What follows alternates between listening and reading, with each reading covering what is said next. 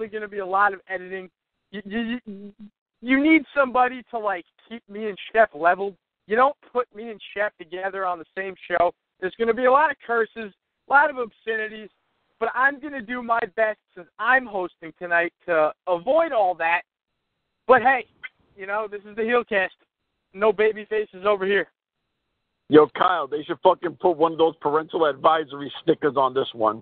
Yeah, this one should get a parental advice. If you're listening, you got the kids in the car. Uh, I don't know. Put put on some WWE for them or something. You know, let let them listen to a WWE podcast because this is the Impact Asylum Heelcast, and Kyle and Chef are running it tonight. And I, you know, I just I, I want to apologize to everybody on the website. Uh, just because they they didn't see this coming at all. But all all all banter, all all hurls beaten aside, not hurls beaten all hurls beaten aside. We're here with a purpose. We're here to cover this week's excellent episode of Impact. Uh, before we get into the episode, Shefsky, let's uh, let's just hit him with the news real quick. Uh, so one night only has been moved to Thursday night. So right after Impact, uh, one night only. This one's called Turning Point. One night only Turning Point 2017 has been moved to Thursday night. So right after Impact, it'll be available for purchase on your pay per view. However you do it, there's a million different ways to uh, watch these shows. Just go on Google, type in Impact only, uh, one night only, uh, Turning Point 2017. You'll be able to find it on. They they have so many streaming websites. There's like Fight TV there's Fight Network. There's so many ways to watch the show. So if you're a true Impact diehard, you are watching this show. I, I can't stand when people don't pay any mind to the one night only shows. You're going to get some kick ass wrestling live from the Impact Zone. You're going to get some Chef. Chef's going to be all over that episode, aren't you, Chef? You know what? I'm definitely going to be on there. And Oh. not for nothing, but like I keep trying to tell people, the fucking crowd is actually so much better now. It's not the crowd from like you know two three years ago where it was fucking dead. Like the crowd is you know they're lit. It it's it was a damn good fucking show. They they, got to figure out a way to uh, like mic the crowd up better. You know what I mean? Like I you're always telling us how uh, how the crowd is, but a lot of times it doesn't translate to TV. They got to figure out a way to get the crowd louder. I, I've always said that. Uh, it, it varies episode to episode, but overall, I I feel like the audio that we get on our television sets just doesn't do you guys justice there in the impact zone. You know what? You know what? Completely honest, I think it is. I think because you know you'll have your match where you're like the crowd is like eh whatever with these guys, but then you'll have your crowd where you know say like it's a uh, it's an El Patron match, an Edwards match, uh, a James Storm match. You know the ones that the crowd really really like, they're going to be the louder ones. You know, but when and I and I like Marshe Rockett, but when you got Marshe Rockett versus like Mahabali Shera, you know, don't expect to hear much. Yeah, no, that's your your, uh, your undercard slash underdog matchup. I feel you. I feel you. So yeah, one night only is going to be on Thursday nights instead of Friday. I don't know if this is going to be a permanent thing, but pretty cool. Uh, definitely going to get that one. Uh, so moving on, we really don't have that much news this week. Uh, you know, I pulled up whatever I could. Uh, one thing that's been uh, hitting the sheets throughout the week is uh, the Hardys and Impact are still at each other's throats over the rights to the whole Broken Brilliance thing. Uh, Reby's Twitter fingers are back in action. She's uh, been tweeting the past few days. Uh, I'm sure you guys saw it. Uh, Karen Jarrett randomly tweeted, "Shut the fuck up." That's all she said. Shut the fuck up. Uh, didn't didn't at anybody. Didn't you know put any context there, but we all know who she was talking about. Uh, Reby Herpy, uh, Reby Hardy. Uh, you know, a lot of a lot of uh, legal issues there. The thing is that gets me, Shep, is like we really don't know. Like we hear these dirt sheet reports and then we read the tweets, but there's no actual like documentation of what's going on between the Hardys and Impact. It's all just he say, she say at this point. That's why I don't really like to cover it too much because most of it is just like speculation. Uh when it's all said and done, we're gonna find out the, the for sure's what really happened, uh, and I, it's going to be very interesting to read about. But as of right now, apparently, uh, Impact and the gang are they're uh, just steady uh, trademarking. That's what I'm looking for. Trademarking. They're just trademarking all these uh, broken brilliance uh, things, and I guess they're fighting for it. I guess WWE is trying to go through with it. Maybe I don't know, but uh, you know it's funny because Reby put out a tweet where she was like, uh, "Cena is going after an eight-month-old pregnant woman," blah, like just kind of making herself sound like the victim. But it's like she's the one that put out the "fuck the owl" shirt. She was the one talking more shit than anybody. Like, stay out of the kitchen if you can't handle the heat, right, Chef? You know what? I completely agree with that. I mean, and I, and I kind of said something about that. Anybody. She was talking yeah. more shit than anybody. And that's what I'm saying. Like, like I don't want to make it sound like it's always some street thing because it's not. Because I mean, you can have some dude in a rich neighborhood. I mean, look at Gotti. But if you run your motherfucking mouth, expect to get repercussions because that's how the shit works. I don't care if you're in a rich neighborhood. I don't care if you're in the hood. If you run your fucking mouth, someone's eventually going to get tight. And you know what? You're going to have to deal with that person. The only thing is, if you're going to keep running your mouth and, talking mad reckless, and I mean, yo, your shirt literally says "fuck that owl," like not you know like TNA sucks. You're also like fuck that shit. You don't just say fuck that like if it, oh fuck that. No, you're like fuck that. You know what I mean? So if you're gonna try to be about it like that, and then now all of a sudden you're gonna be like, oh my god, like you know, defenseless me. Well, yo, don't open your fucking mouth then. You know what I mean? Like if she would have shut the fuck up and let legal actions be whatever it was gonna be, then she looks like the motherfucking you know better person. Impact took the high road and was like, we're not going to get into a war words with you. They, and they did. I mean, did Karen sit there and say, shut the fuck up? Yeah. Is it entertaining? Yup. I like Karen Jarrett for saying it.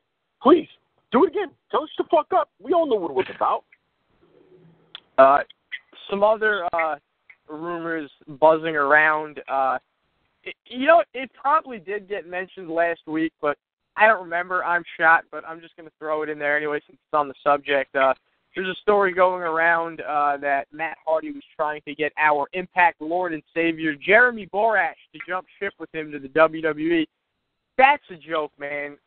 I mean, sure it would be a great, uh, you know, uh, uh, as you know, a business it'd probably be a good opportunity for JB to go try something else in the industry. But it's like the Impact fans, that's our guy. We we need JB. We can't lose JB. That would be a bigger loss than any wrestler on the roster. I personally feel. JB is Mr. TNA. That's who JB M- is. JB MVP. Absolutely. So, uh, some other news. Uh, Jeff Jarrett tweeted out that he will be heading to LA for two days of meetings. We will see what old Slapnut has up his sleeve this time. I love when they go out on the road because every time Jeff and Ed go out somewhere, they always come back with some news or some sort of partnership or something. Like that man doesn't take trips for no reason. He goes to UK, he comes back with a Spike TV deal. He he visits uh he visits Mexico, he comes back with uh AAA one of the biggest, and, the biggest Mexican promotion partnership. Also, I mean, also he he came back with the crash too. He, he came back with crash too, exactly. Uh, every time Double J and uh, Big Ed hit the road, they always come back with some good news. So that's pretty cool. Uh, Jeff heading out to LA. We'll see what he comes back with because he always does come back with something. Uh, it's being reported on multiple uh, wrestling sites, even the more credible ones like PW Insider, that Spike UK is thrilled, keyword thrilled, with the initial ratings for Impact thus far. Good news, definitely good that they're not starting off to a rocky relationship. Uh, now that the Dixie regime is out of power, you're gonna a lot, a lot of smooth sailing so far, man. You know, I, I at first I wasn't gonna just act like everything was, you know, you know, our prayers have been answered, everything's perfect, but God damn, man, everything's everything's pretty damn near perfect. Things are working out good. Uh, we took some L's. Uh, you know, I, I relate wrestling to like sports teams. You know, there's uh, there was some roster trades. Some guys left the team, uh, but a lot of new guys came came to the team. A lot of rookies, uh, some legends. Uh, just things things are shaping up. Uh, before we finish up with the news, uh, just a reminder: there's plenty of cool Impact videos to check out on Impact's YouTube channel, or you can go to ImpactWrestling.com. They're always linked on there. Uh, You got uh, they put out a video. Uh, Eddie Edwards uh, with his knee surgery. These, this new series, uh, I forget what it's called. Uh, they got one with Braxton Sutter and Angelina Love. Then there's the recurring favorites such as Around the Ring. I think this week had DJZ. And then uh, the question mark, where they always ask the wrestlers these random questions. Uh, the question mark was the worst date experience. Chef, I- I'm going to stop real quick before we move into the episode. Uh, I'll I'll hit you with one, but I got to ask you first, man. I mean, they asked the wrestlers. I want to ask my fellow podcasters, what was your worst date experience? If you could take us back to young Chef. Oh ah, man, see, I got a real nasty one that I'm not gonna say because I come don't on, come shit on. on We're on the No Hill way. No way. Mine is No to be way. totally more embarrassing. Come on. No, no way, because this is just fucked up. So I'm not gonna go with that one. The worst one, all right, it's probably I was like 14. I was dating this girl. Uh, she lived on Ditmars and shit, right? It was her What'd you- birthday. I mean, it was a great. It was a great day for me. I don't have bad dates. You know what I mean? Like I'm not trying to act like a dick or the man, but listen, fucking Chef was the pimp, and anyone who knows me back then, they could co-sign on it. They'll be like, yeah, this nigga was a mad chick. But so I'm, I'm dating this one chick. You know, we go see. I don't remember what fucking movie. We're out. We're on Steinway Street, and I'm just it's me and like five of her homegirls. Right. One of them was looking seriously good. You know, the girl I was with looked good too, but the other girl looked right. So we go back to Ditmars and shit. I start shooting around, fucking around, chilling with the girls. You know, you know, acting like fucking, you know, like with that smooth staccato shit. You know, I go back, I walk the girl home because the other girl tells me, she's like, hey, after you drop her off, yo, come come see me in my crib, like come through my window. So I'm like, I bet. Wait, wait, hold, hold on a second, Chef. Pause, pause, pause. Stop the clock. Stop Huh. the clock.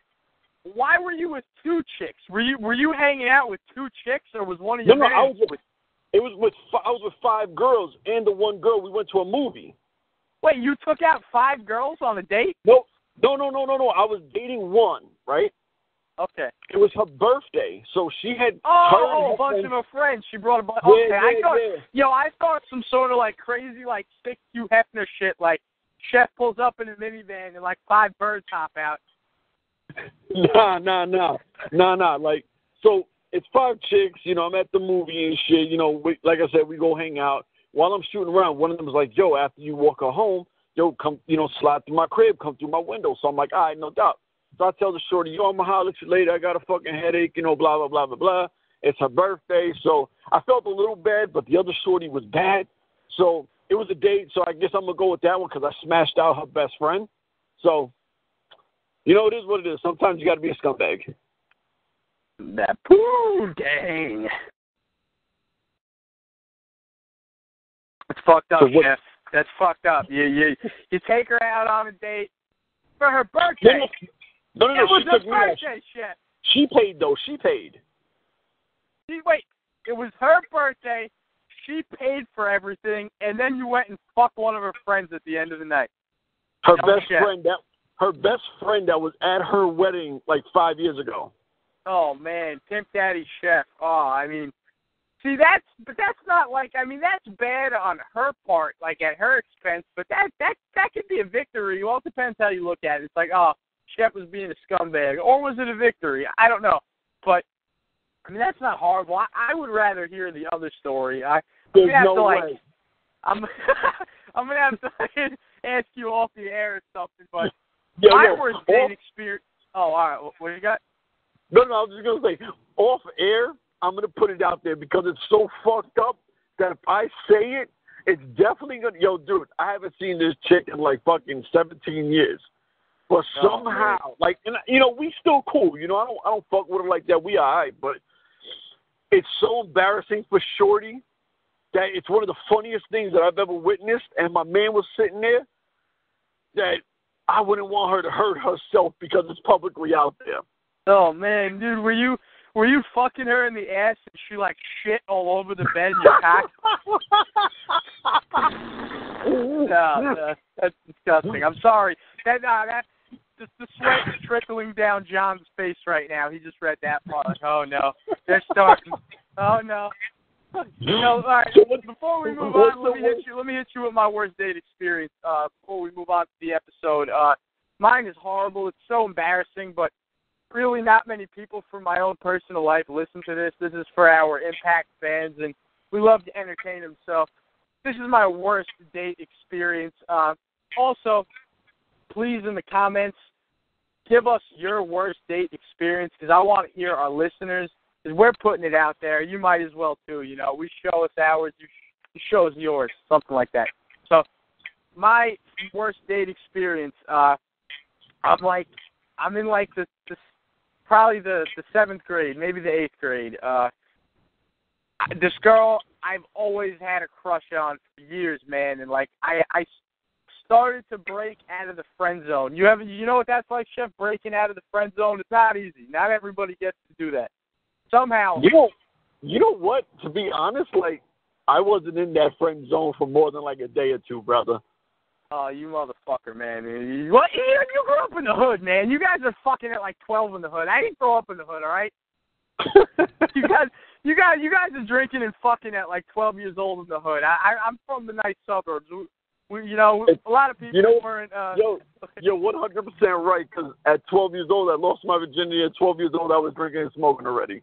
Oh man, well, all right. Well, you just you helped me out. You said the word virginity. Uh, this story involves that, and it's real bad. So, I I finally break out of the friend zone with this girl. Um, things are like moving along. We're hanging out. We start like making out and stuff. And I'm like, dude, I'm like 14 years old. Uh, we start making out and stuff. Things start, you know, like things are blossoming. And I take her out on a date. We go out.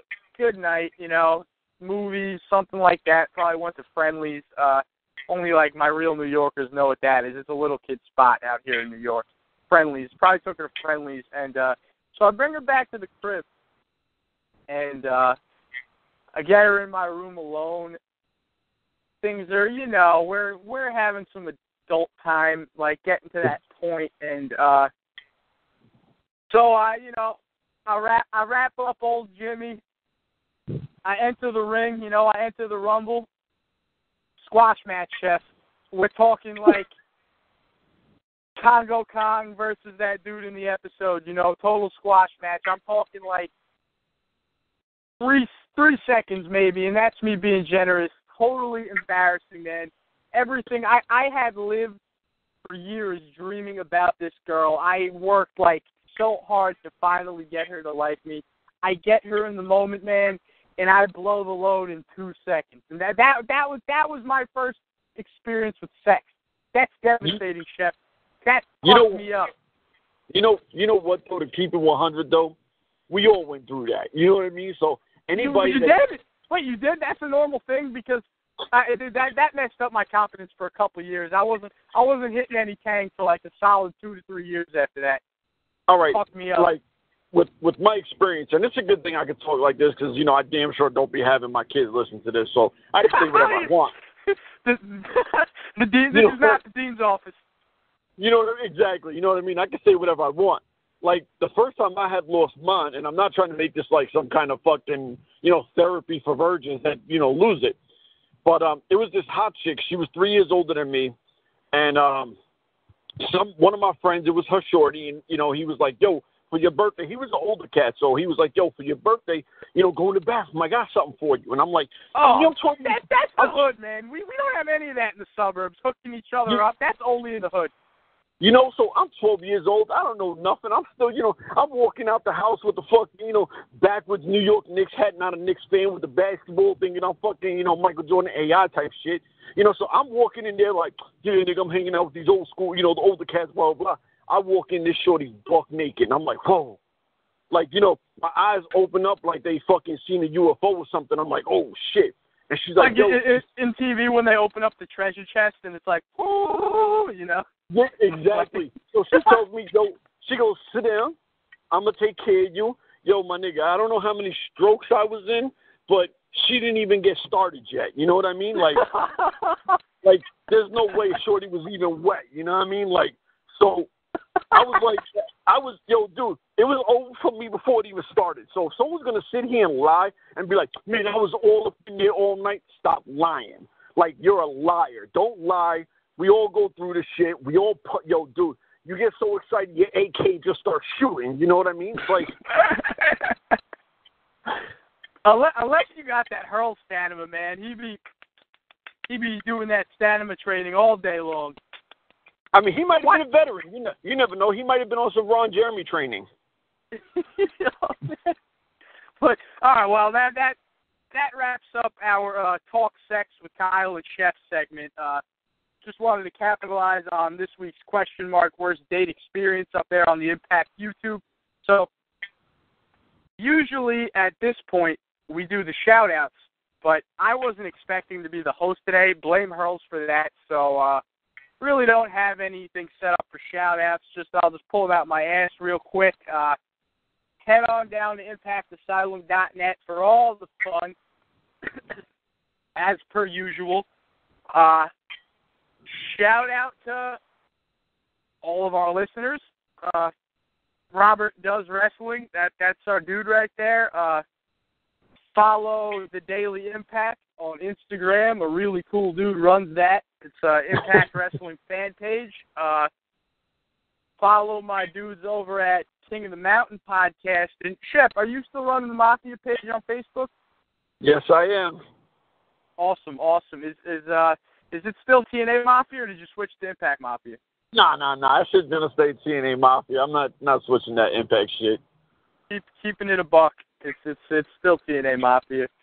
So yeah, uh, those those that's my schlep shout outs because I wasn't ready for any of that. So uh, I mean, unless Hurls, you want to like cut this out and re-record your voice or something doing shout outs, you fucking left us, you fucking asshole. You're like you're a deadbeat podcaster, Hurls and you're a deadbeat Ooh. sportsman.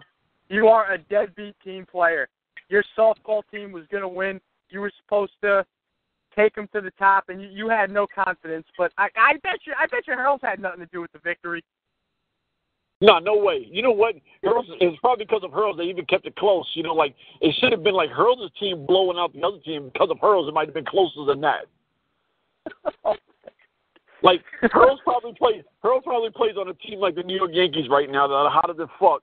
And then like, you know, he comes and all of a sudden they're like fucking you know, like the worst team in the league and they're like, Yo, Hurls you know, they they're his friends, so they're probably like, Hey, yeah, yeah, yeah, come to games at like eight thirty, you know, and, and the game's really at like seven, but for some reason Hurls shows up at like six thirty, you know, ready for BP.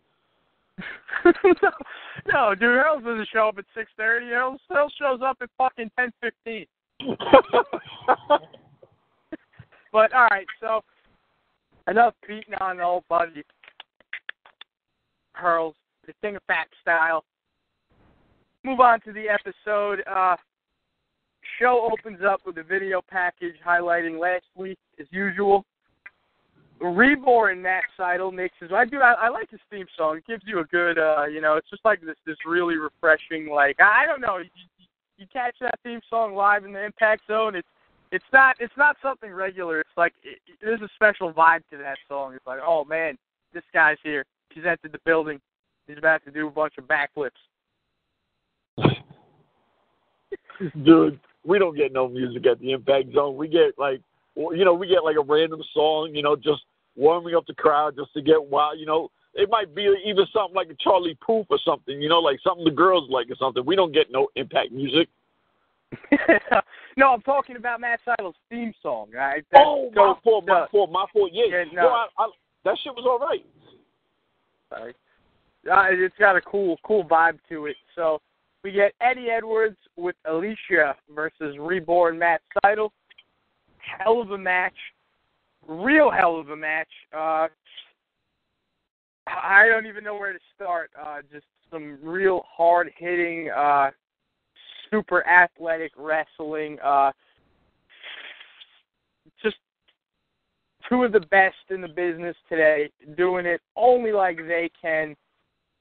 That shot of caffeine, just like Pope says in every Eddie Edwards match. He, Eddie brought the shot of caffeine. Sydal, he he brought it. So Sydal uh, hits the uh, shooting star press for the three count at the end, and uh, like good sportsmen, not you hurls, like good sportsmen, they shake hands after the match. Then Davey Richards with a steel chair and Angelina Love come and give him the old beat down. Uh, Chef, were you uh, in the zone for this match? Absolutely. This yo, I keep I kept telling people like this every every taping I, I get fired up about one match and this was it.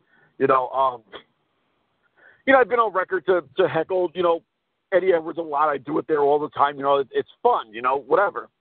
But every time that there was like a, a, a two count that I was like, oh, the match is, you know, Eddie Edwards about to win, then oh, Matt Sydal's about to win, oh, Eddie Edwards, like the way it was done was so fucking badass. Like these guys, like that old school phrase, they went to war. You know what I mean? Like, and every time you thought one of them got the upper hand, the motherfucker would kick out. You know, it would, dude, this was like oh, my that's, match. That's a good match. That's a good match Yeah. when you're on the edge Yeah. of your seat and you don't know what's Exactly. And and the, the the thing that I keep trying to say is, I come off very anti Eddie Edwards. I mean, look, the guy's a fucking amazing talent. Let let me just you know clear the air for the millionth time. He's an amazing talent. Talent. Um, I just like to, you know, I like to fuck with the fans that are there. You know, I like to, you know, I like piss people off at times. So Heel team Yo, six. yeah, you know what I mean? I'm just being a fucking heel. Heel team six all day. So to watch him do his thing and to start actually at, at times I was like, oh shit, like, oh, that was crazy. Like, you know, I started actually looking at Eddie Edwards like, yo, you know, I'm about to, you know, go buck if this dude really pins him right now. And then a kick out like, yo, and then for them to shake hands, as much as I don't like that, after that match, that shit was perfect. And then Davey Richards comes down, pummels him, and I'm like, ha, my heel side comes out again because I really enjoyed watching Davey whoop his ass. You know, some people like heckling wrestlers. Other people like laying down in ice cream freezers. Chef Chef has some fun out there, but when when it all at the end of the day, Chef gives respect where respect is due. That's why that's why I like you, Chef. You know, you might mess around, you know, goofing on Eddie a lot, but when it comes down to it, you say, okay, that was an awesome match. Oh yeah, I mean, yo, dude, there's been a few matches for the last few tapings that he had great matches. That as soon as you know, I can't I can't say nothing because I don't want to spoil nothing. So I wait until the match is over, and I'm like, yo, Eddie, you know, that was a fucking dope match. Much respect, and he knows what it is. Like, you know, dude, I've heckled him so much that he's been so classy about things that if I say something positive, he gets it. You know what I mean? He's like, oh, this guy's just being a dick. You know, but it's all fun and games because I'm the first motherfucker to be like, yo, Eddie, you put the fucking business out there. And this match got uh, "This is awesome" chant, and the "This is awesome" chant that actually means something when you watch Impact because you don't get them all the time. Like the Impact fans in the Impact Zone, they don't chant "This is awesome" unless something is truly awesome. Like I can think of some other wrestling shows, like especially NXT.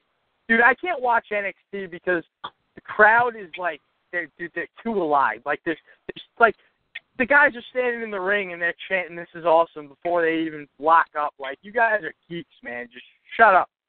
Impact. When there's a "This is awesome" chant, it was well deserved.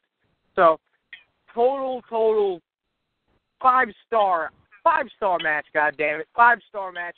If you didn't catch this match, go back and watch it. Totally amazing. I'll, I'll be. This is at the end of the year. This is going to be one of those top matches we're voting on. So moving on, McKenzie Mitchell. Ooh, I, I like me some McKenzie Mitchell. McKenzie Mitchell is backstage interviewing Magnus. Uh, Magnus says he doesn't like how Impact set up Alberto as a roadblock in his way. Magnus is flexing with the GFW Global Championship. Uh, Matt Morgan shows up. Matt Morgan's in his face. Then uh, Bruce Pritchard gets in the way, uh, setting setting the match up for tonight. Pritchard says uh, Magnus's GFW title and global title will be on the line. Pritchard tells Magnus to go get his wrestling gear for that match. So these two setting up for later on in the show. And then uh, when the show comes back from the break, we get uh, another one of these KM segments. Uh, this time KM is uh, he's littering, giving the janitor a hard time gets in the janitor's face and uses the line from last week telling him to uh make it like a tree and get out of here. I, I think it's supposed to be make like a tree and split, but uh, make like a tree and get out of here. Uh channeling Biff. You remember Biff from Back to the Future? Absolutely. Like I was saying on the on the last podcast, that's Exactly. what my wife was calling him before these things. He's Biff. KM is Biff. Uh, David Penzer, uh, WCW announcer, he's back with Impact. Uh, he's back in place of Spud, who was uh, taken down at the hands of Swoggle and a hammer last week. Uh, Matthew actually mocks Pesner, uh, Pesner, friends of those toys, the, the Pez, the little pinky candies in them. Matthew mocks Penzer, Penzer as being a relic who he who he has blocked on Twitter in the past. Dude, Matthews is a douchebag, man. Fucking asshole. Josh Matthews. I can't stand him throughout the episode.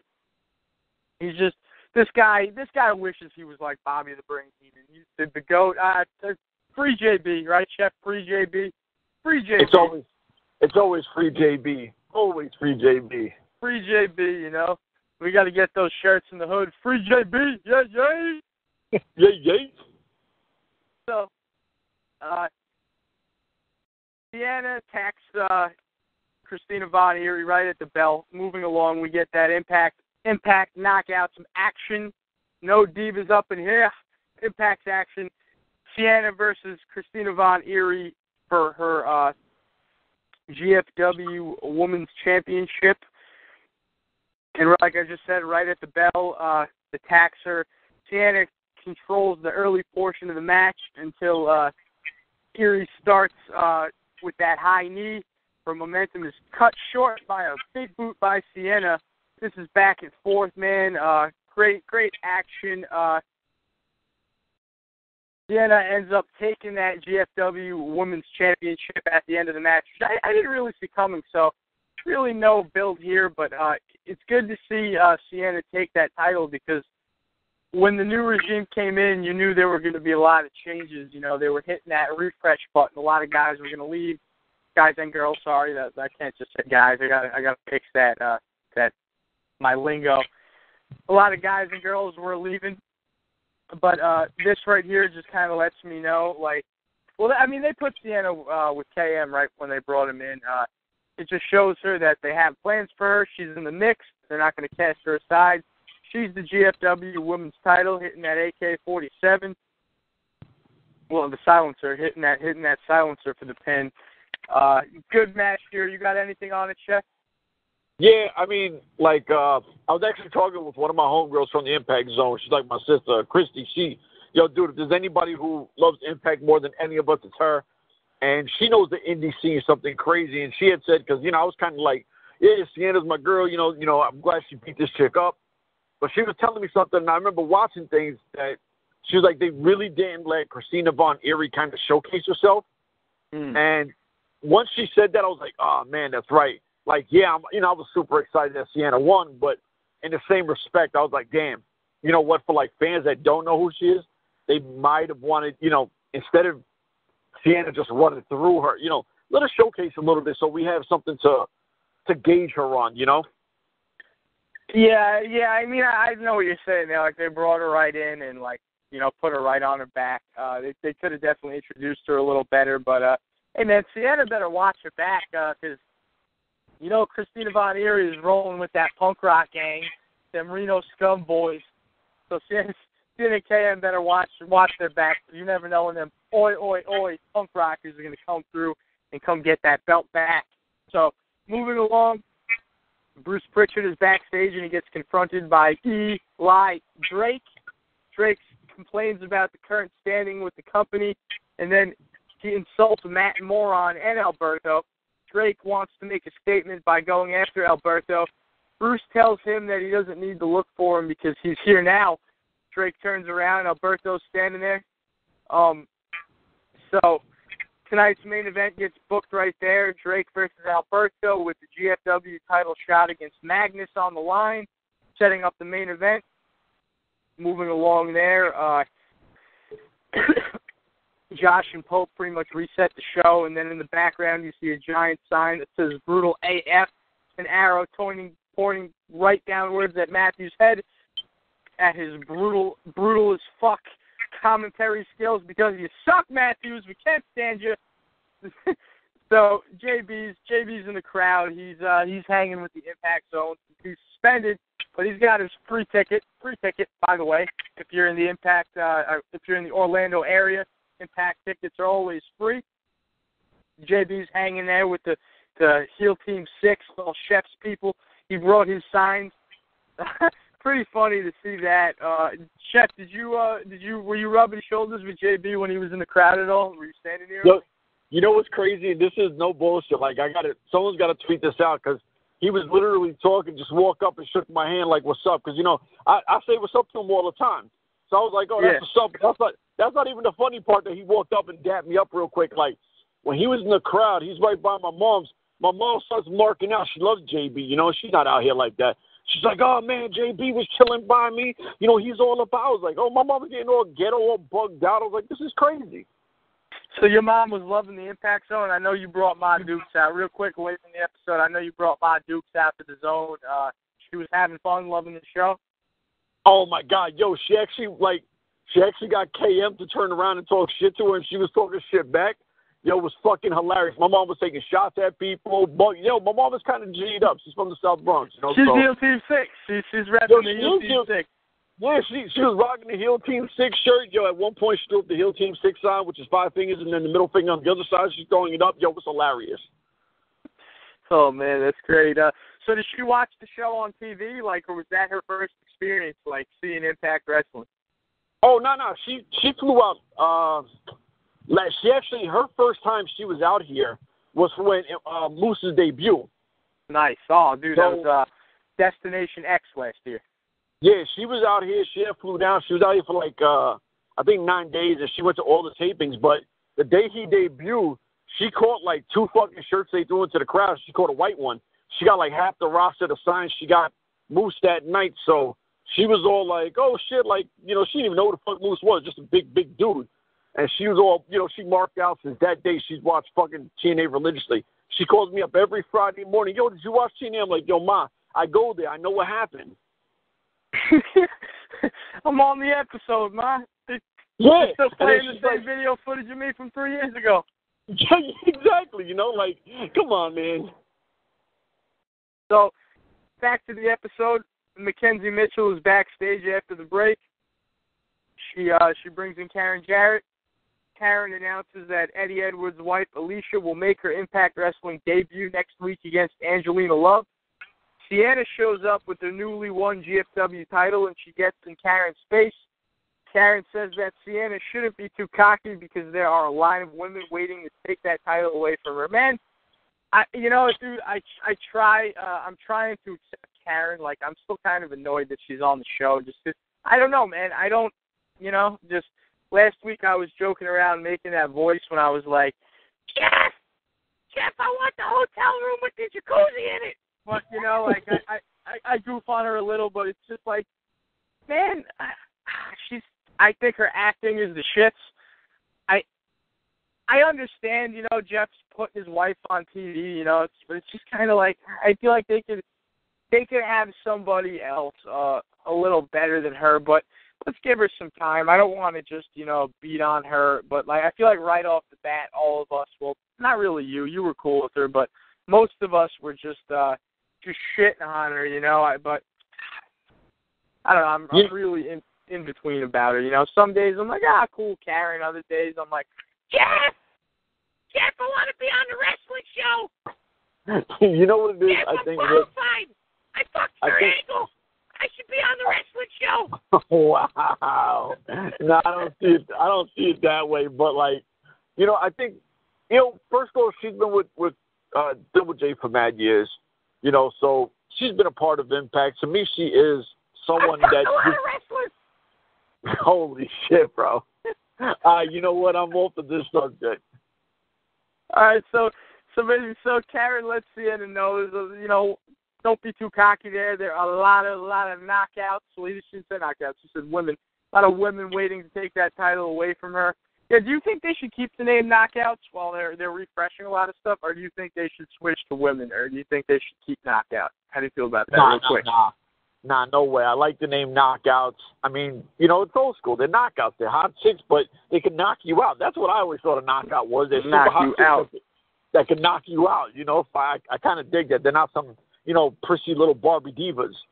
That's what's up. That's what's up. So next up, we get uh, EC3 squashing a guy by the name of hold on, I have I have this this jobber this Jabba's name in my notes somewhere. Josh Bolin. EC3 squashes Josh Bolin. Very very brief. Uh, Carter just dominates this this poor little guy. Uh, TK3, knee to the head, one percenter, bada bing, bada boom. Uh, this, you know, they say we're getting the old EC3 again, and uh, this kind of like there was this this match right here. Just it wasn't for nothing. It wasn't just a squash. Uh, EC3's breakout moment was when he uh, he was at Bound for Glory. Uh, I think it was 2013, and he squashed. Uh, dude, what what was that guy's name, man? You remember that Impact jobber? Uh, like Norm, oh, oh Norm Fernum. Norm Fernum, yeah, he he squashed Norm Fernum. Uh, and I, this was kind of like just like a like a flashback to that match, and it's almost like you know the old EC3 is uh you know he's got his shit together. He's he's he's back to the EC3 that uh that won championships. The the other EC3, Mr. Nice Guy, his career wasn't uh going where he wanted to go. So he, he's back to the old EC3 and this squash match just kind of like it was kind of like a flashback to, to the uh what was his name, Chef? Norm Fernum. What was it? Norm Fernum, the Norm Fernum match. Um, so EC3 squashes him real quick. Then he gets on the mic and he uh, he cuts a promo. He calls out Impact Management management and promises to become the three-time world champion at Slammiversary. Then back at ringside, the camera cuts to Matthews and Pope at the broadcast table. This time, JB holds up a sign that says POS, piece of shit, in case you don't know what that means. I'd be surprised if you don't right over Josh's head. Uh, Borash flips the sign and then it reads hashtag free JB. Matthews notices all this but tries to brush it off. After hyping the Magnus and Morgan match, Matthews gets annoyed and calls for management to remove Borash from ringside.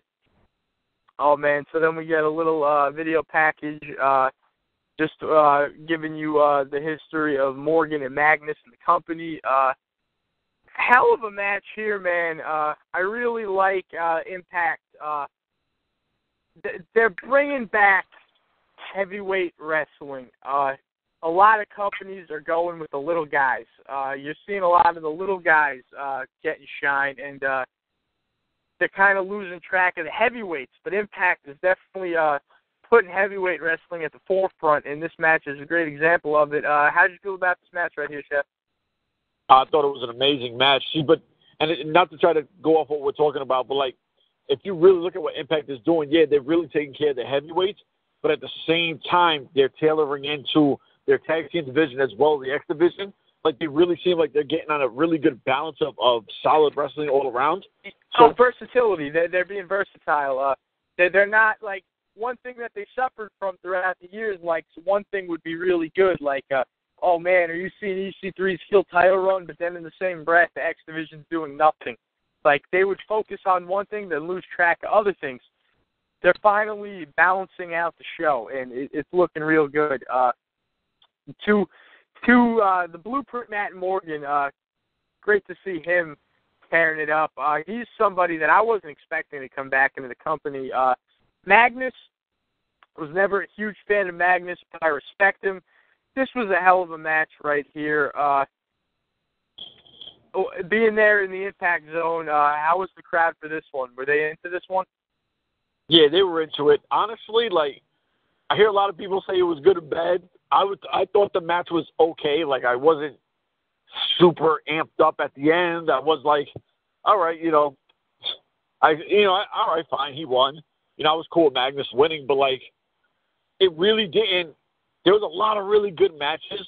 And if you look at, we started off with Eddie Edwards, and I know it's a great way to start off a show, but if you look at that match, that match literally should have been the main event. Yeah, it had no kind of belt on the line or no kind of, you know, stipulation, but that match was so fucking dope that to me, I think that should have been the the main event because, like I said, I thought it was the best of all of it. And uh, Matt, Matt Morgan, love him, glad he's back. I like Magnus, you know, so I, I thought it was okay. And the only thing I want to say is I would really like fucking Magnus to get back with Bram. I think that would help both of them out. You know, I'm not trying to once again, you know, throw my own two sh- fucking cents out there just for shits and giggles, but I think right now with them not really know where they're going to go with Bram, they don't, you know, Magnus, where do you see him? I think if you put both of them together, that's another group that could battle VOW. That's another group that can go against LAX. You know, but whatever. So what I got from this match, uh, Magnus delivering that low blow to Morgan when the ref had his back turned, and then he hits uh, the Michinoku driver and uh, defeats him with that top rope elbow. Just kind of let me know uh, Magnus is uh, not good, not really a baby face. He's hitting low blows. Uh, you know, and you mentioned Bram. Uh, I would like to see Bram come back in as a heel, and uh, you're right, putting him and Magnus together uh, again they they have such a, a history, and they're the type of talent that you know really really complement each other. A lot of chemistry there. Good call there, Chef. Uh, so yeah, uh, Magnus Magnus defeats Morgan with that uh, top rope elbow. Then uh, show comes back from the break. McKenzie Mitchell interviews the current Impact World Champion Bobby Lashley. He lists off all the people he's beaten and says that he is the real world champion. And Back at ringside, Borash has a fan holding up one of his signs. Matthews mocks Borash for making the signs. Uh, the, the, the Borash and uh, Matthews thing, I don't know. I mean, it's, it's entertaining, but I, I, think they're kind of dragging it out. I kind of want to get a payoff. You know, I don't want to see this this uh, Tom and Jerry cat and mouse uh, throughout every episode. So, moving along, the uh, LAX in the clubhouse LAX vignette. Uh, Konnan addresses the LAX team uh, about last week's street fight. Uh, they they give a moment of silence to the fallen Decay, and then they all just start laughing. Uh, Decay is done. Konnan says that they're going to have a funeral for Decay next week. Without spoiling, Chef, uh, are we in for a treat for this Decay funeral? Fuck yeah, you're in for a treat. Like, yo, dude, it was one of those things that I didn't know what to expect. I seen what was in the ring, so I was like, okay, this is this is weird. I seen where they come out, so I knew they were coming out. And the music is not their typical music. It was some pretty gangster shit. And I was like, oh, these motherfuckers did not just come out like this. It was fucking dope. And I can't wait for the next podcast so I could really throw my reference in there because if I throw it in there, real hip hop heads that listen to this are going to be like, "Oh, bang! I know exactly what Chef is talking about." So I can't do that. But um, we're in for a treat. Yo, Bottom line, we're in for a treat. Yo, this is going to be gangster. Like, and I mean, like, this is really. I don't know who came up with this. It had to be fucking Konnan throwing it out there because there's no way anybody in the back scenes knows what this is about. Oh man. So moving along, uh, quick little James Storm promo. Uh, they, these little like profile pieces they've uh, they've been airing throughout the show. Uh, I don't think I covered all of them because they're kind of morely commercials. But uh, quick James Storm, he talks about what Impact Wrestling means to him and why he's a wrestler. He lists his family as the reason why he wrestles and states that Impact Wrestling is life to him. After the break, oh dude, this was hilarious. Uh, they, end his video of Spud, who's recovering from his attack by Swoggle last week. It's Bud's got the neck break uh, neck breaker on. Uh, neck breaker. He's got the neck brace on.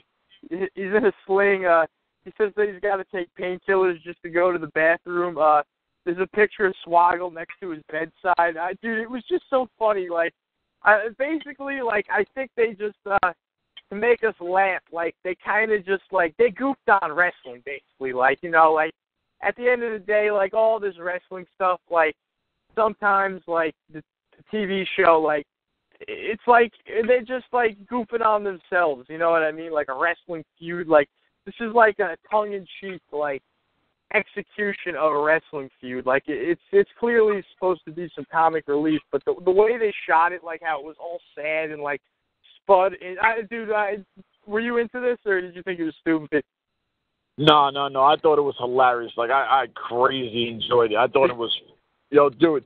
Like to me, it felt like one of these cheesy daytime soap operas. Yeah, that was the point. It was hilarious. Like it was cheesier than one of those Pop TV Impact commercials, and I love Impact on Pop TV. But you know what I'm talking about with the commercials, man? whoever's like the marketing director at Pop TV, they need to figure out how to make better commercials. Do you have any idea what I'm talking about right now? Absolutely. Yeah, those Pop TV commercials, like there'll be one of like somebody like swinging a chair, and it'll be like, "Oh, look at uh Graham playing the drums." like I'm putting sound effects in there. Like all the listeners know exactly what I'm talking about. Like this was just such a cheesy video. Uh at the very end, I think it ends with Spud saying that he never meant to pull Swoggle's pants down. Like what? Oh man, just funny stuff, man. Spud is like he he's so talented. Uh, he he he'll make you laugh, man. He'll make you cry. He, Spud is he, but when he wants to, man, he's a total comedian. Speaking of making you laugh, this guy's hilarious. Uh, yo, so moving yo, today today he did, and I'm gonna make this quick. Today he did this thing on on uh I think it was the Impact Wrestling on Facebook where he was like, you know, addressing the fans, and he was like, "It takes me three pills in the morning just so I could tinkle just a little bit of pee." Yo, just the shit he says is fucking crazy. Oh man, that's that's hilarious. Uh, just moving along here, uh, getting towards the end. Uh, moving along, uh, Kongo Kong with LVN versus uh, Jobber by the name of William Weeks another squash match. Uh, somebody online made a good uh, point here, and I wasn't even thinking about it. All right, this guy that Kong squashed, William Weeks, was he not the janitor in the KM video earlier in the episode? I didn't catch that. I have to go back and look at this guy's face, but a bunch of people online were saying this guy that Kong squashed was the janitor from the KM segment earlier in the episode. That's pretty funny. Uh, Chef, do you think that's accurate or not? You know what? I have no fucking idea now. Like when I go home, I'm, I'm you know, I got to look back at it because I, I have no, yo, dude. But this guy looks fucking like. I mean, I don't want to diss the guy. You know, he's a professional wrestler, or whatever, whoever he is.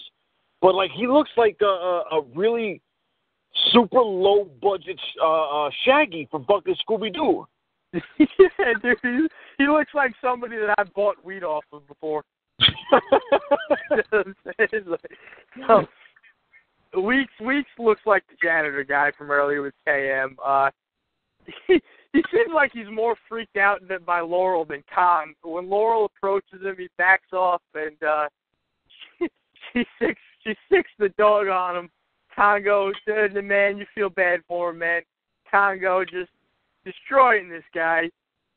Total destruction, kills him. Uh, then Braxton and Allie make their way down the ramp. Sutter runs into the ring and goes after Kongo. Uh, hits him with the hits him with the clothesline over the top rope. Kongo lands on his feet. Holy shit! Lands on his feet. Laurel gets her monster to leave ringside. Uh, quick little Eli Drake uh, profile piece, uh, one of those commercials like I was talking about before. James Storm, uh, he cuts a promo where he's uh, he's he's actually like putting over the talent in Impact Wrestling, and it's very unlike Eli to be humble or showing any respect in, in any episode Impact Wrestling. Uh, he uh, he he he gives his props to the roster, and maybe he's giving props to his his team and like there's this Impact Bloods and then there's GFW Bloods. That's what I'm getting out of this. Um, moving along real quick before the main event, uh, we get this really good video piece uh, with this with Sanjay Dutton Low Ki, uh, Low Ki destroyed Sanjay's eye. Oh man, dude, I didn't even notice how nasty his eye was when I first watched the match. Then when I saw this, I got a good glimpse of his eye hanging out of the socket.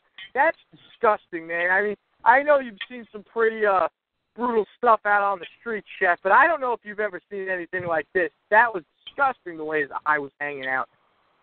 You know what? I've seen some crazy things that blow that shit out of the water, but sitting there and I was really close and at this point me and my mom was, was by the barricade and she was like, I wasn't even, I honestly, I didn't pay attention, and he was like not far from me. I was watching whatever was going on in the ring, and she was like, "Yo," um, she goes, "That guy right there just got Rockmans. Remember that boxer that got punched in the face and eye got fucked up?" I mean, I, I, not particularly, but I, I'm sure that's uh, accurate. That happened. Yeah, yeah. And she's like, there's a guy named Hasim Rahman, and I think it was Holyfield pushed him so hard in the face that it just shot like, and he had this like second head over his face. So as soon as she said, "Yo, that guy right there just got Rahman," I looked down, I was like, "Oh fuck!" Like, damn, like, yo, dude, for him to finish that motherfucking match the way he did, yo, mad respect, cause yo, there's no way you could even see out that eyeball. You know, dude, that's funny. Uh, you just said Rockman. Uh, there, there's a Cam'ron line that I never understood. You, you remember that song? Uh, him uh, and uh, when he was on Roc-A-Fella, like I seen Rahman. You know, Mex Exactly. Fuck with secretary. Exactly. That's one of my favorites by him. Some little hip hop talk for you, some classic cam for all you uh Dipset cats out there. Chef, were you fucking with Dipset in that run? Yeah, you just never saw me in pink.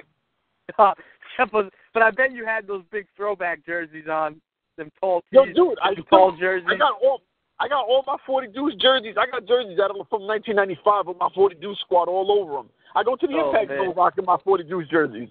Oh man. So uh, what I got from that vignette is uh you know, Sanjay is complaining like Low Ki tried to kill him. Low Low Ki tried to take the, the food out of his mouth out there. Low Ki tried to take him out the game. And uh Low Ki just you know, it's just business, what he says. He he calls it just business. And uh Dutt Dutt says that uh he's always fallen short of being the X Division champion. I think you have a really good story to tell right there because Sanjay Dutt is looked at as an X Division veteran because he was in the company uh, at some of their, uh, just like the, the the the peak of the X Division in like the mid 2000s. Sanjay Dutt was uh, just a player and player from Himalaya actually, uh, but he never won the X Division championship, never. And that You know- tells a good story, you know. Like, and he just he just got his face splattered tells a great story because now we're going to see that uphill battle. He's going to heal up. His eye's going to get good, and hopefully we see him get that payoff of becoming the X Division champion. But when you're going against Low Ki, you're going against one of the like hardest hitting, just uh, one of the one of the most notorious, like notoriously physical wrestlers of all time. Like when you see Low Ki in the ring, he's bashing motherfuckers in the face, and the, Sanjay Dutt's eye is proof of that.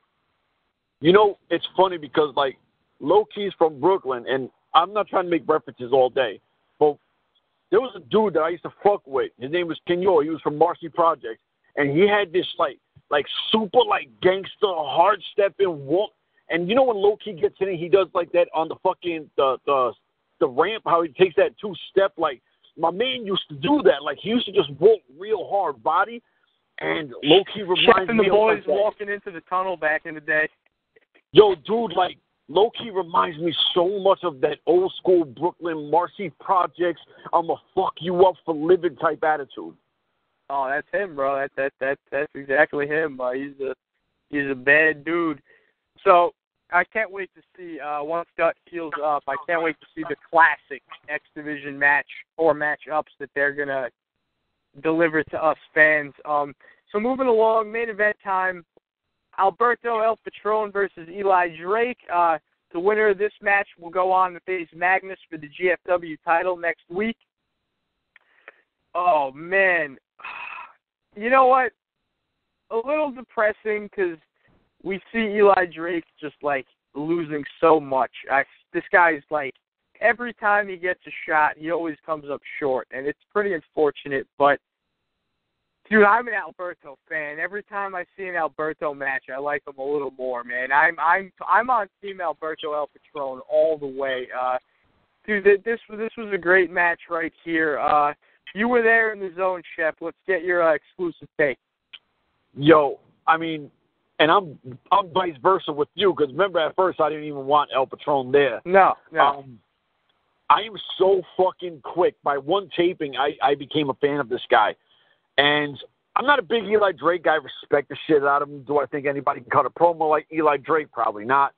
Um, I like Eli Drake. I think he's entertaining. I'm just not a fan of him, so I don't give a fuck if he wins the belt or not. Does he deserve it? Yeah, whatever. But he was hit the dummy button on you for saying that. Oh, dude, he used to, and this is no bullshit. He used to hit the dummy button, and one of the people that he actually was like, "Oh, you know, you fat ass in your mama's basement was my boy Brent. So that was fucking hilarious. Like they had they had this whole oh, Brent fucking, Strowman. No, no, no, my man. Oh yeah, Brent Strowman. Yeah, yeah, Strowman. Yeah, yeah. So, um, so you know, I was watching this match, and I, you know, I know what Eli Drake does. I know how the motherfucker gets down. Like this motherfucker, anytime he's in a match, you know the shit's going to be dope. Now El Patron is another motherfucker. So these guys, yo, this match was so dope. Like I was like, wow, this is exactly why every Eli Drake fan feels this man should be champ because he could put matches on like this. And at the same respect, El Patron did the same shit back. Like these guys, they literally just showed impact management. We could be your top two guys. You know, that's how awesome this match was. Tore the So- house down. No, dude, it was. This is one of those special moments that I think that if they capitalize right, you got something spectacular going forward with E- uh, with EC3, with Eli Drake, with uh, El Patron. You know, I'm only going to count those three because I'm really hyped on those three right now. And the thing with with I'm trying to tell people because there's a few people from the Impact Zone was like, wow, why is El Patron getting all these wins? One, because he's a fucking marquee name. Anywhere El Patron goes, he's a fucking marquee guy. We love our EC3s. We love our East, East, you know, Eli Drakes and Brams and, and, you know, whoever the fuck. You can be a Tyrus fan, whatever. But these are guys that we built on a product that a lot of people ain't watching. El Patron has been watched for years. So I think if you can have a Slammiversary with El Patron, EC3, Eli Drake, like make it like a, a, fatal four way or something like that where these motherfuckers could just go and give them time. Because you just seen what the two of these guys can do. Add EC3, add Bobby Lashley, and you can have something crazy. Or, you know, whatever. Have a one on one. I'm just throwing it out there because I like the four guys. But this match was so fucking spectacular that I was like, man, as a person that just finished saying I'm not an Eli Drake fan, I understand exactly why they feel my guy should be a champ because Eli Drake, even with a loss, looked fucking spectacular.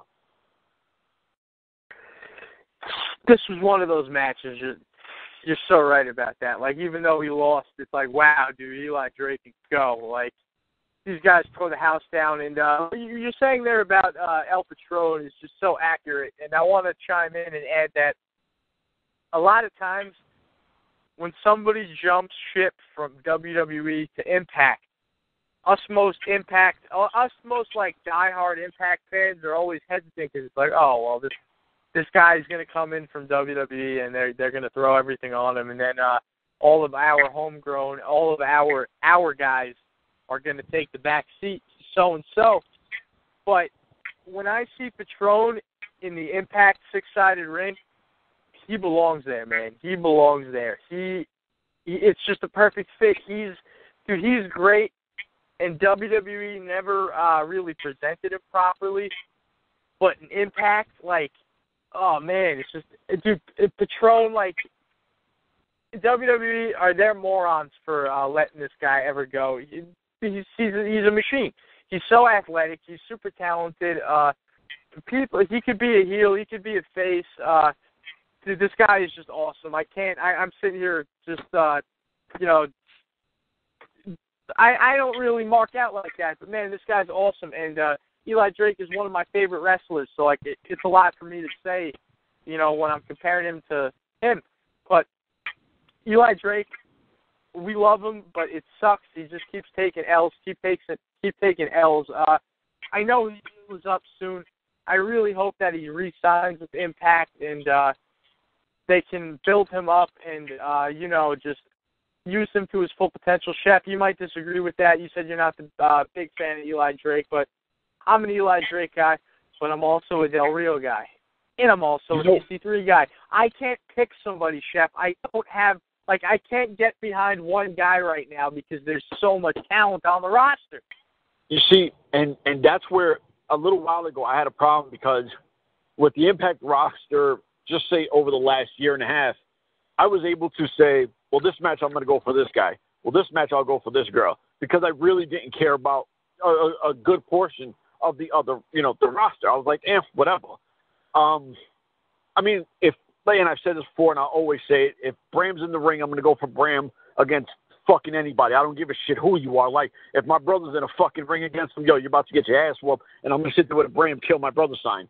Um, but now, like, even when the tag team thing was, I'm a DCC fan. I'm a LAX fan. I like Reno Scum. I like Laredo Kid and Garza Jr. I fucking like Fallah Bahh and fucking. I don't, and, you, know, and, you, don't, you don't know who to cheer. You don't know who to boo. Like they have such a great roster right now. They're they're underdogs. They're top dogs. They're God damn it, Impact. You're killing it. Just just when everybody thinks like, oh man, they lost the Hardys. They lost Drew Galloway. They're screwed. Dude, eh, you you can't kill Impact, man. You attack Impact, they always come back hitting harder than before. And but the thing is, and once again, this is not a shot towards the Hardys. And if it is, I don't give a fuck. Fuck but the Hardys. Look at the look at the this look at the division before when the Hardys were there. DCC jobbed out to them. Decay jobbed out to them. Bromans were already done. So you had two groups besides them. Now you have LAX, Laredo Kid, all the other names that I just named. You have all these amazing young talented cats. You know what I mean? Like the divisions are so much better now. The story writing is so much better. It's not just blah blah blah, delete, delete, delete, which now isn't even fucking over in, in fucking Raw. Yo, I got WWE fans on Twitter like, yo, dude, they're barely even chanting that shit now. So that's how quick they went over there, and it's irrelevant. They're not even doing the deletes. They're 45 year old fucking Hardy boys. You know, man, like I, I loved all the Broken Brilliant stuff, man. It was a wild ride. It was it was something different. It was something uh, in wrestling that you're never ever gonna see again. Uh, but I don't know, man.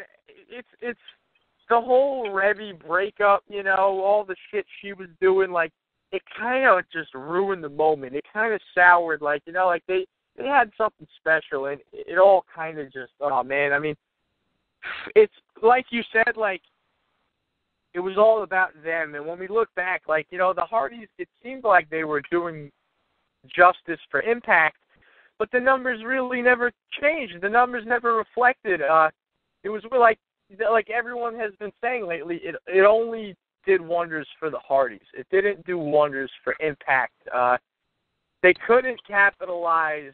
They I mean they couldn't translate that success to the overall Impact product. It was just uh a couple Hardy videos went viral, and I'm sure there's some like moron WWE just like sheeps that they didn't even know what wrestling show it came from. They they they, they don't know what Impact is. They don't know where to find it, and the ones that do that say oh, TNA sucks, TNA sucks. It's not 205 Live or NXT. You you idiots, you're missing out on some of the best wrestling in the world. I'll say the best wrestling show in the world. I mean, well, You know- I guess we're a little biased. This is the Impact Asylum HeelCast, but fuck you. You know Impact what? And you're, number one. you're 100% right on the, the specialness of the the final deletion. Um, all the other names, you know, I can't remember what all the names are right now, but they were all like the first two were really special. And after that, I, I did get bored of it, but it was still special because it's never been done, you know. And we we created that. Now, if you want to say it was JB and Matt, that's fucking fine. It was still created under the Impact flag. When that shit got to ROH, okay, all you had was these guys come out and say delete. There was no special show for it. There was no House of Hardys or, or Hardy House, whatever they called it. They didn't have that. WWE bit it off and flopped. They did another one recently and flopped. You know what I mean? Like we did it and we did it successful. Oh, They've what are you talking about? The uh, the the Roman uh, and uh, Braun video people are talking about, and I heard that was terrible. Yeah, like I got WWE heads were like, "Oh, this is one of the worst things I've seen. This shit was trash." There- You know what no, mean? You can't. You're, you're not Impact. You know, you can't. You can't do what Impact does. Uh, yeah, it was. It was such a cool, uh, different, uh, something different, and unique. Uh, but the problem is, what I was just trying to say is like, the whole beef after kind of ruined that because it's like, are people gonna remember? Wow, remember when uh, the Hardys did that really cool thing on Impact, or are they gonna remember? Wow, remember when the Hardys and Impact had a complete fallout? You know, like uh, it's just it, it's unfortunate, and uh, I, and, and the way the, the way the way Reby and Matt handled it with the fuck the owl stuff, like I just I lost all respect for them because I get it, you know, they're they're fighting for what they believe belongs to them and everything, but they screwed the entire roster when they started that smear campaign. Yeah, they said fuck the owl. They didn't say fuck the locker room, but when you say fuck the owl, you're kind of saying fuck the locker room without saying it. You know what I mean, Chef? Yo, dude, it definitely is because say like, uh, all right, like obviously I played sports for many years and I always played for the same team. I played for my 40 dudes, you know, my family. And if you played on my team and then say you just went to for the Long Island boys and all of a sudden you were like, yo, fuck 40 dudes.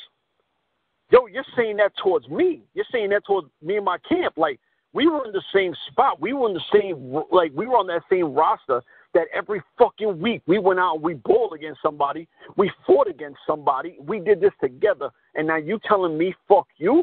We still under that same name. You know what I mean? That's why I was like, wow, that's some real foul shit. That you know he allowed her to just fuck that our shit when my boys are still under that flag. You know, I, that's the only thing I didn't like. Is I was like, if, that just shows a lot about your character. If it doesn't, if they feel something differently, whatever, I just take it that way because that's that's how I see it. And you know to the listeners, uh, I apologize that we're uh, going on this little rant here after the episode about the whole Hardy thing, but uh, I just I see a lot of I see a lot of shit talk online. I see a lot of uh, negativity towards Impact, and like I just feel like it's our duty sometimes to get on the show and uh, you know just speak up for our team. You know, I, I feel like there's a lot of it's very unfair. Uh, I feel like Impact has been uh, just kind of in an unfair position with everything because so many people uh, online they don't even look into the situation. They just go, oh, oh yeah, Hardys, oh, oh, I love the Hardys. Fuck that out. Like, no, you know, like Chef, Chef, somebody came into the impact zone with the fuck that owl shirt, and what happened? Nigga got sent out. He got sent, sent as far as I can say, but he got sent out. Real quick, before before we close everything up, we did the episode. Uh, we're just having some uh, some post show talk here because uh, we did the show. This is one of the the, the quickest uh, heel cast ever. Uh, we we did a really short show here, so we're just getting some uh, little uh, little post action here, uh, chatting it up. Uh, for the listeners, Chef, tell tell them tell them the story of the guy that showed up to the impact zone with the fuck that owl shirt. All right, I got to be really light with how I say things because I'm not trying to get nobody in trouble. No, no we we, so, we would never do that. Would we ever do that here? And there's well, never any controversy when we're on a podcast. Yo, dude, anytime me and you are together and we don't have uh like a parental advisory, like you know, uh, uh the homies Raven and, and and brother underscore, we do come off kind of bug the fuck out. But somebody had came in, we um, heel team six noticed it. Um, I'm not going to say politely. We referenced him to the fuck out. He understood what the time was, and he was escorted out. It was just that simple.